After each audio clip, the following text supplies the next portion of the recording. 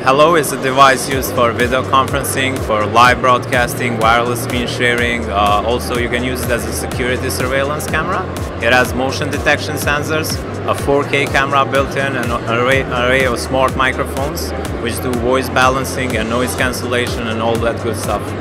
So basically, uh, we were not sure because uh, the way we came up with Hello was because we have remote teams uh, all over the world so we had always this issue when it came, when it came to uh, video conferencing. So there, there was no solution in the market for that. So we thought we would come up with something that would solve that.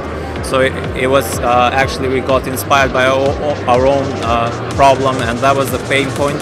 So that's why we decided to go through a crowdfunding uh, campaign and then find out uh, who's gonna be the, the, the exact target uh, audience for this because we thought it could be good for freelancers as well as large businesses, corporate businesses who have uh, remote offices all over the world. It ended up being everyone. I mean, uh, we had backers from all over the world, like for home use as well. Uh, they like this a lot, especially families who have small children and they don't want to go with a laptop, you know, follow them around and all of this. So basically, freelancers, also big, uh, big uh, institutions and big corporate for us uh, because Gadgetflow allows you to actually track how many contributions you get directly.